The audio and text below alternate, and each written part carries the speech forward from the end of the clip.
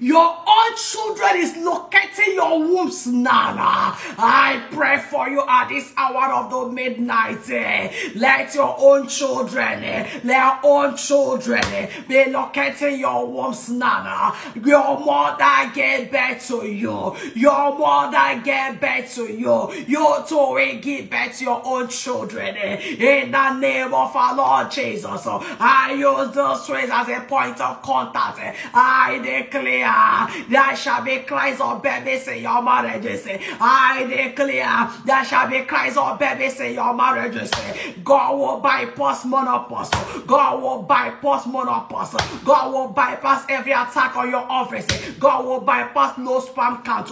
God will bypass water sperm to bless your womb with your own children. In the name of our Lord Jesus, I pray against every spirit of barrenness. I pray against every spirit of miscarriages. Pray against spirit of the land. I don't know altars that say you will never have your own children. Let that altar catch fire. Let that altar catch fire. Let that altar catch fire. Let that altar catch fire. I pray for you. God is activating your wombs now for miracle conception. God will move you from pad to Pampers in Jesus' mighty name. Amen and